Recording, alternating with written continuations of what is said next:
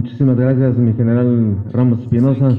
Es para mí un privilegio estar ante este distinguido grupo de representantes de las Fuerzas Armadas de sus respectivos países, damas y caballeros. Voy a abordar el tema que es la Armada de México como coadyuvante en el mantenimiento de la seguridad interior. Para tal fin, la agenda que vamos a tratar va a ser la evolución del concepto de seguridad nacional en México, la dinámica de la delincuencia organizada transnacional como amenaza al Estado mexicano, las acciones de la Armada en coadyuvancia a la seguridad interior, la problemática jurídica en la seguridad interior y abordaremos algunas de las conclusiones. Este, empecemos por el tema de la evolución del concepto de seguridad nacional en México. Igual que el resto del mundo, el concepto ha ido evolucionando de acuerdo con las amenazas a que nos hemos enfrentado. Después de la Segunda Guerra Mundial, el enfoque era este, básicamente para defendernos en contra de amenazas provenientes de agentes de derecho internacional o de otros estados-nación. Posteriormente, con el advenimiento de la Guerra Fría, este, se volvió a adoptar una visión estatocéntrica, ya que se tenía siguiendo, se, continuaba con, con, el temor de un conflicto internacional, al mismo tiempo que surgieron actores no estatales que atentaban en contra de la integridad nacional, como es el caso de todos los movimientos guerrilleros que hubo en diferentes partes de Centroamérica, América del Sur e incluso en nuestro país. Y ejemplo también de, ese, de esta visión de tratar de protegernos de otros estados está el Tratado Interamericano de Asistencia Recíproca, firmado en 1947. Ya más reciente, en el 2003, después de la, de la Conferencia de Seguridad de la ONU llevada a cabo en la Ciudad de México, se adopta una visión multidimensional en donde existen aspectos económicos, alimentarios, tecnológicos, ambientales, societales y humanos que se consideran como posibles amenazas o antagonismos a la seguridad nacional. Eh, para nuestro país, la seguridad nacional, su propósito es hacer frente a los riesgos y amenazas que pueden comprometer los objetivos nacionales. Para eso se consideran dos vertientes de la seguridad nacional. Uno que es la defensa exterior, como ya hemos comentado, que se encamina a proteger el país en contra de otros estados. Pero también hay una vertiente de seguridad interior, en la cual se, se busca garantizar el orden constitucional y la gobernabilidad democrática que permita desarrollar los intereses de nuestro país. En este orden de ideas de concepto multidimensional, existen diferentes tipos de actores que pueden eh, oponerse a nuestros intereses y estos van desde aspectos eh, meteorológicos, atmosféricos, eh, sociales, este, nuevas este, amenazas como el terrorismo y, y otros más. Este, por lo tanto, por cada tipo de amenaza existen diferentes tipos de clasificaciones de seguridad. Hay seguridad alimentaria, seguridad social, seguridad humana.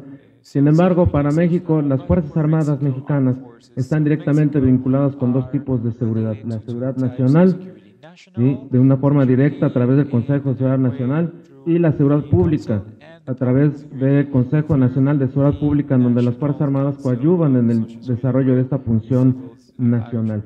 Quiero hacer un breve paréntesis aquí nada más para explicar que en México existen dos ministerios que involucran en donde están contempladas las Fuerzas Armadas. Por un lado, la Secretaría de Marina o el Ministerio de Marina que abarca la Armada de México y por otro lado la Secretaría de la Defensa Nacional que contempla al Ejército y a la Fuerza Aérea Mexicana. En este, en este orden de ideas, como ya se comentó, hay muchísimas amenazas, pero tal vez la amenaza principal a la que se enfrenta el Estado mexicano y la mayor parte del continente latinoamericano es la delincuencia organizada, la delincuencia organizada transnacional. Y esa es sobre lo que nos vamos a, enfocar en esta pequeña plática. Entonces hablaremos a, este, a continuación lo que es la dinámica de esta delincuencia organizada y cómo se ha transformado en una amenaza para el Estado mexicano. Este, México ha, estado inmerso en la cuestión del narcotráfico desde hace más de 100 años. Sin embargo, la situación de, con respecto a este, a este fenómeno delictivo ha evolucionado en los últimos años y, esta evolución se debe a diferentes factores. No es una casualidad, es una consecuencia de diferentes factores que se han ido mezclando y nos han llevado a la situación actual. Al inicio del presente siglo, eh, finales del siglo XX, principios de este, la situación se transformó, llevándonos a una situación de violencia que obligó el uso de las Fuerzas Armadas para contener a este, este flagelo. Este, como ya comenté, la situación se debe, tiene sus orígenes en varios factores, tanto internos como externos. Dentro de los principales factores externos que tenemos está la disponibilidad de armas, la posición geoestratégica de México y México como se convierte en el principal corredor de drogas hacia los Estados Unidos. En lo que respecta al primer punto, que es disponibilidad de armas, este, varios factores tienen que ver. Es cierto, después de las guerras intestinas que hubo en Centroamérica y, Sudamérica, la ONU tiene contabilizados aproximadamente 700.000 armas que circulan en el mercado negro. Esa es una fuente. Pero también a partir del 2004 los Estados Unidos liberan la prohibición de venta de armas automáticas. Ya para el 2010 hay un estudio de la este, Oficina para el Control de Armas de Fuego y Explosivos, para el alcohol, tabaco y armas de fuego, ATF por siglas en inglés, en donde 70% de las armas decomisadas en México entre el 2009 y 2010 procedían de los Estados Unidos, ya sea por armas fabricadas en ese país o importadas a través de ese estado. El otro factor que también nos ha afectado mucho es que México es la posición geoestratégica de México para el tráfico de drogas. México conecta al principal mercado consumidor de drogas al norte con los principales centros de producción de cocaína en Sudamérica. Además, este, conecta a la entrada de precursores químicos provenientes de Asia, con la cual se fabrican diferentes tipos de, drogas sintéticas de nuestro país. También es, es claro que México es productor de drogas como la marihuana y como la amapola en diferentes partes del país. El tercer factor que también eh, tuvo que ver con el desarrollo de la delincuencia organizada es que México se convierte en el principal corredor de drogas, de cocaína hacia los Estados Unidos. Hasta 1980 los narcotraficantes usaban el corredor del Caribe. Estados Unidos a través de sus operaciones logra cerrar ese corredor y este es un hecho que se empieza o se, combina con, con, el debilitamiento de los grandes cárteles de América del Sur. Esto ocasiona que México sea usado como el principal corredor de drogas para, de cocaína hacia los Estados Unidos, lo que a su vez eh, permite que se fortalezcan las organizaciones criminales mexicanas. El siguiente, este, otro aspecto también externo que nos ha afectado es la transformación política, económica y social que ha sufrido México en los últimos años, específicamente la inserción de México en los círculos de la economía global. Esta, esta nueva inserción en la economía global se conjuntó con una expansión de las actividades ilícitas vinculadas con el crimen organizado a tal grado que la, delincuencia organizada aprovecha estas condiciones para incrementar las actividades transfronterizas y transportar drogas hacia los Estados Unidos. México tiene 12 tratados de libre comercio con 44 países. Además, de 1994 al 2014 se incrementaron las exportaciones, en las importaciones fueron en un 600% y exportaciones en un 700%. Es obvio que esto trajo grandes beneficios para México, pero también abrió una ventana de oportunidades a la delincuencia organizada. Para que sea una idea de este intenso movimiento de carga, ¿verdad? En México hay 60 aeropuertos que mueven anualmente 700 millones de toneladas. Hay 117 puertos y terminales marítimas que mueven 282 millones de toneladas y más de un millón de contenedores, lo cual se puede llegar a expandir en los próximos años hasta más de 2 millones anuales. Por último, hay 25 puertos de autotransporte terrestre entre México y los Estados Unidos. Y a manera de ejemplo únicamente en la mesa de Otay, que es un puerto de entrada en Baja California hacia los Estados Unidos, anualmente se mueven 1.4 millones de camiones hacia los Estados Unidos. Se pueden imaginar lo que es el problema de tratar de controlar y de vigilar ese flujo transfronterizo. Este, dentro de los aspectos internos también hay muchas cosas que han permitido el, fortalecimiento de la delincuencia organizada. Eh, aspectos sociales este, muy importantes en México, como es la marginación y la pobreza. Más del 50% de la población en México vive en pobreza. La falta de oportunidades laborales, así como un acceso limitado a la educación, hace, hace vulnerable a la población mexicana para que sea reclutada por la delincuencia organizada. Ese también es un factor eh, muy importante en los últimos años. Otro factor todavía más importante es la debilidad de, de, las instituciones encargadas de proporcionar seguridad pública en nuestro país. La función de seguridad pública está a cargo de los tres niveles de gobierno, es decir, a nivel de la federación, a nivel de cada estado y a nivel de los municipios. ¿Cuál, el problema más importante es a nivel estatal y municipal, donde existen las mayores debilidades.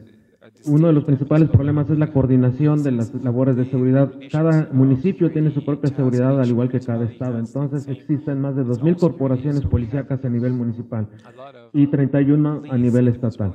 Además de eso, las instituciones son débiles. Más o menos en nuestro país hay un promedio de 400 mil policías, 200 mil a nivel estatal, 200 mil a nivel este, municipal y unos, unos 50 mil a nivel federal. Pero, por ejemplo, de los a nivel este, estatal, 17 entidades federativas no, están por debajo de la norma de, eh, que marca la ONU por cada 100 mil habitantes el número de policías. Y además 400 municipios no tienen policía, el 80% de los municipios tienen menos de 100 elementos de, este, seguridad pública y ganan menos de 300 dólares al mes.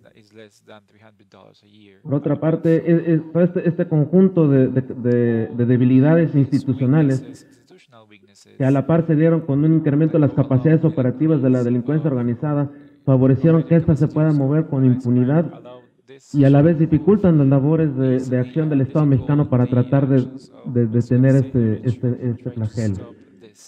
Este incremento de la capacidad operativa de la delincuencia organizada trajo también como consecuencia una tremenda lucha entre las organizaciones delictivas, los Zetas contra el cártel del Golfo, los Zetas contra el cártel de Sinaloa, contra el cártel de Jalisco Nueva Generación, a tal grado que del 2007 al 2014 se vincularon con 164 mil víctimas de este producto de este enfrentamiento entre las este, organizaciones delictivas.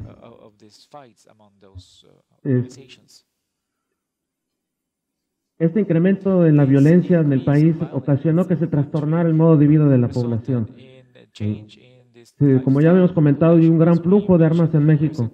Y para que se den ustedes una idea, en los últimos 10 años se han decomisado 13.000 armas, de, 13.000 granadas y 150.000 armas de fuego de uso exclusivo del Ejército, de la Fuerza Aérea y de la Armada. En México no se venden armas de, de, este, fusiles de asalto. Estas vienen del exterior. Para que se den una idea, en la última captura del Chapo Guzmán, esa gente, ese señor venía con 13 delincuentes que venían armados con fusiles BAR calibre 50, con lanzagranadas calibre 40 milímetros, y no dudaron en usarlos en contra del, personal de la Armada de México. Que ocasionó que se tiene que hacer uso de las armas de fuego para hacer frente a, esa, a, ese poder de fuego que tienen los delincuentes. Ante este deterioro que les he comentado de gobernabilidad y la falta de capacidad de las corporaciones policíacas, el gobierno de la República tuvo que emplear a las Fuerzas Armadas para poder traer paz de nuevo a los ciudadanos y contener este fenómeno delictivo. Vamos a hablar ahora de lo que son las acciones de la Armada de México en coadyuvancia a la seguridad interior. Eh, por ley, desde, hace desde 1824 en que se crea el Estado mexicano, las Fuerzas Armadas tienen como una de sus atribuciones el participar en la defensa exterior y en la seguridad interior del país.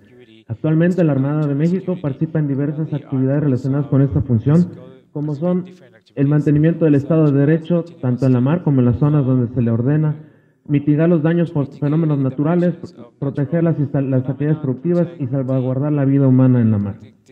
Empecemos por el primero, que es mantenimiento del Estado de Derecho. En ese sentido, la Armada lleva a cabo dos tipos de operaciones, que son las operaciones regulares y las que son en contra de la delincuencia organizada. Las operaciones regulares son las que desarrollan en las áreas de jurisdiccionales de la Armada de México, es decir, en las costas. Y dentro de estas operaciones, este, las que más eh, importancia tienen es el combate al contrabando, la piratería en la mar, el contrabando, el, combate al robo de embarcaciones pesqueras, el combate al tráfico ilegal de personas, armas, estupefacientes y psicotrópicos y la erradicación intensiva. Es importante aclarar que la Armada de México tiene una doble eh, este, imagen, una doble función. Por un lado es el Instituto Armado que defiende al país en contra de agresiones externas. Por otro lado también hace funciones de, guardia costera y de policía marítima para, para poder imponer el Estado de Derecho en la mar y en sus zonas económicas. Pero también, debido a la situación de violencia que hay en el país, la Armada de México participa en operaciones en contra de la delincuencia organizada. Estas operaciones se llevan a cabo en lugares en donde normalmente no, son áreas de costa, como son el, este, el Estado de México, algunas partes de Michoacán, el Estado de Nuevo León. Estas operaciones se llevan en coordinación con otras dependencias y, o con los gobiernos de los estados y su objetivo es coadyuvar en la contención de la, de la violencia en el país. También aquí es necesario aclarar que la Armada no entra por mutuo propio a participar en un, en un Estado. Tiene que llevarse a cabo un convenio de colaboración entre el gobierno del Estado y la Armada de México para que podamos tener la, facultad de entrar a ese lugar, a coadyuvar con esas instituciones estatales para este, retomar la paz. Este, dos asuntos importantes de esta coadyuvancia. En el, en el 2013, la Armada de México se tuvo que hacer cargo de las funciones de ciudad pública completas en siete municipios del estado de, de Veracruz, que se encuentra en el Golfo de México. También Hace ya casi dos años, la Armada de México tuvo que hacerse cargo de la seguridad y de las operaciones de Puerto Lázaro Cárdenas, Michoacán y de Manzanillo, Colima. Esas son atribuciones de la Secretaría de Comunicaciones y Transportes, pero debido al flujo eh, que había de, material robado y las acciones de la delincuencia organizada, se tuvo que tomar esa, esa nueva función. También se llevan a cabo operaciones especiales a fin de capturar los blancos prioritarios de, este, de, la delincuencia organizada. Algunos ejemplos de estos blancos prioritarios es, por ejemplo, la captura de Joaquín Guzmán, el Chapo, Miguel Ángel Treviño Morales, el Z40, del grupo de los Zetas, o Sergio eh, Villarreal Barragán, el alias El Grande, de la organización delictiva de los Beltrán Leiva. Puestos por mencionar algunos.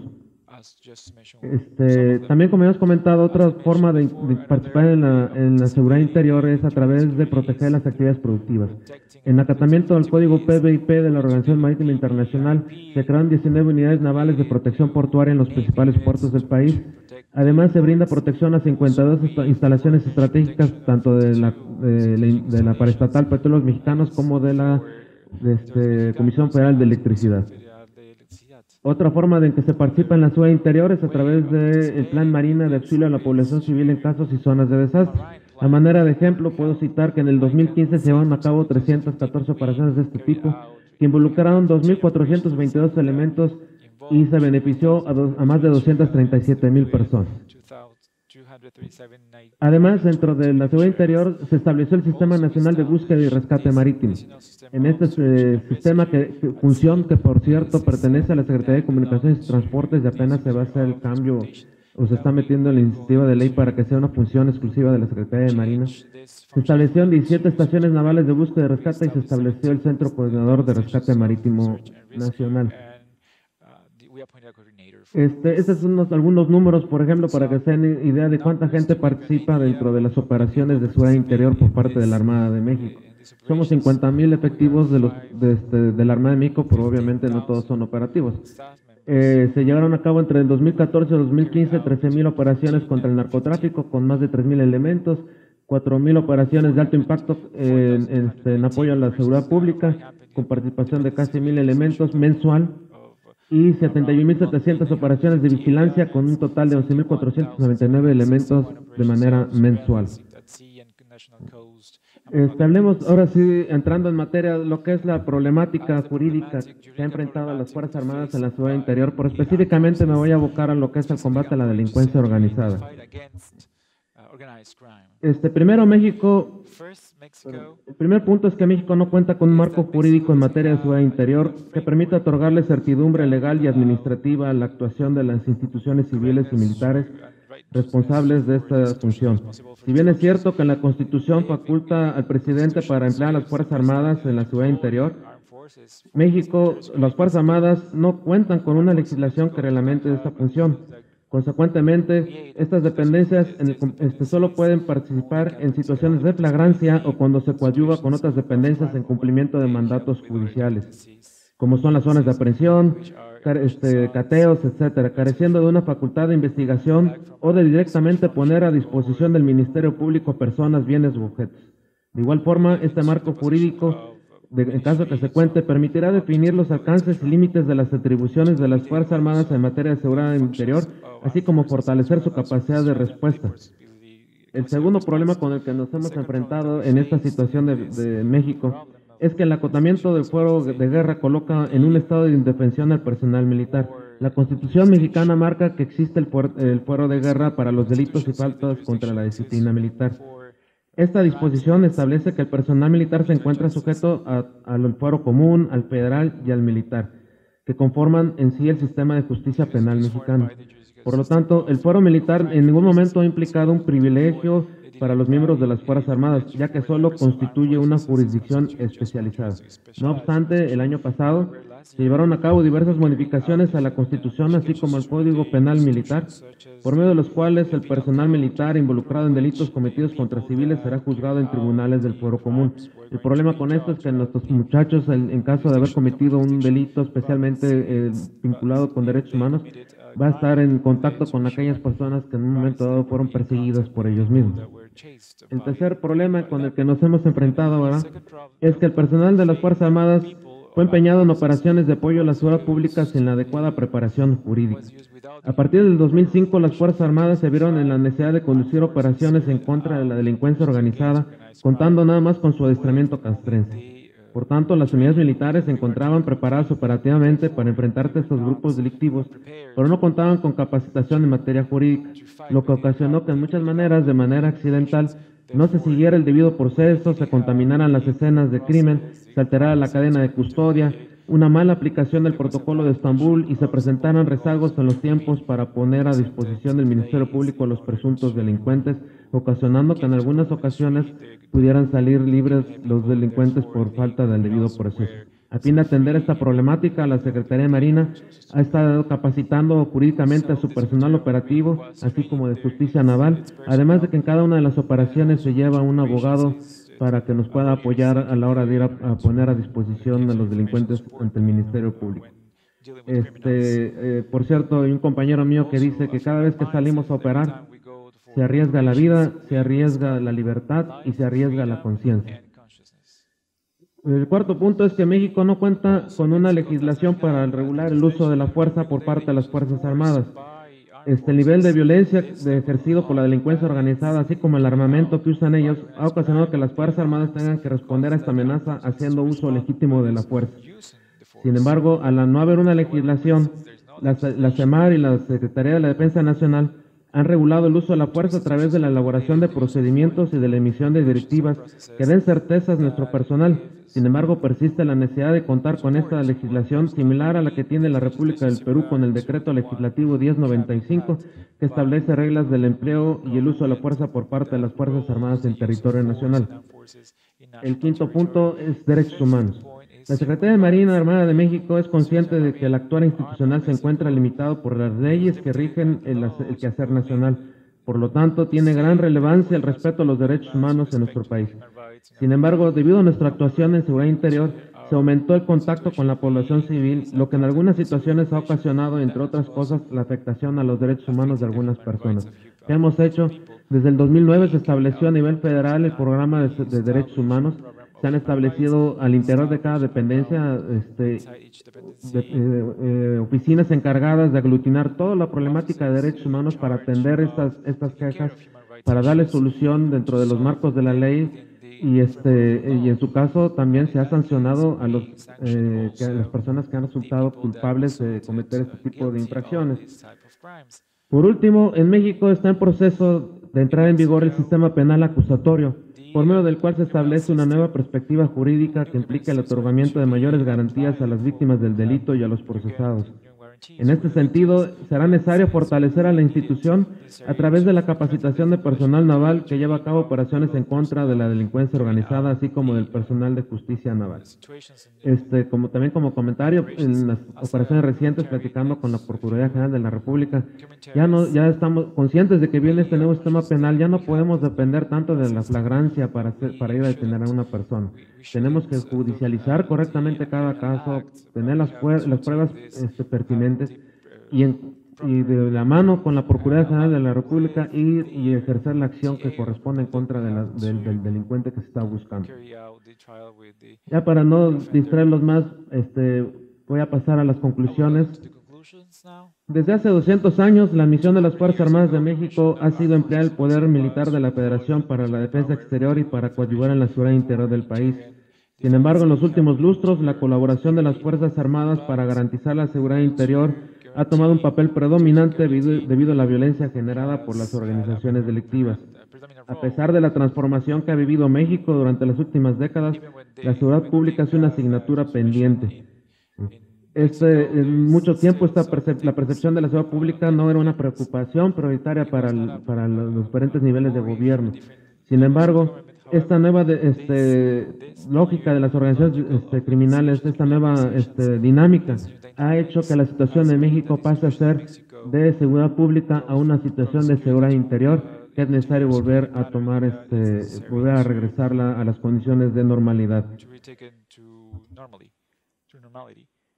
Asimismo, ante esta coyuntura de debilidad de las corporaciones policíacas y del fortalecimiento de la delincuencia organizada, las Fuerzas Armadas fueron empleadas para hacer frente a la dinámica delictiva que amenaza ciertas regiones del país.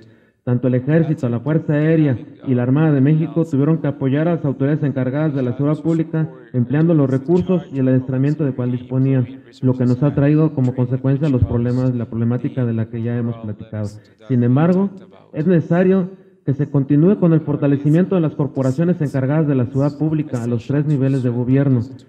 Este es un requisito indispensable para que las Fuerzas Armadas mexicanas se retiren de las calles y continúen preparándose en su principal obligación, que es la defensa exterior de la nación.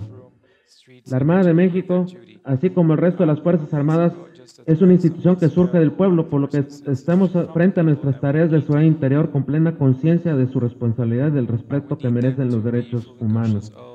Es cierto que se han presentado situaciones en que se han, daña- eh, han ocasionado daños sin- este, algunas personas y se ha afectado algunos intereses.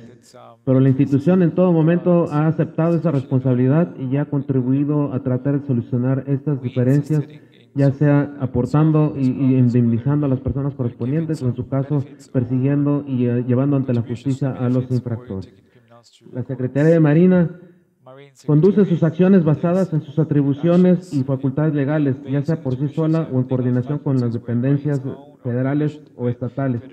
Pero siempre lo hace bajo la rectoría de una visión estratégica, que es ser una institución que coadyuve a lograr las condiciones de paz y desarrollo de la nación, indispensables para la construcción de un país próspero. Muchas gracias.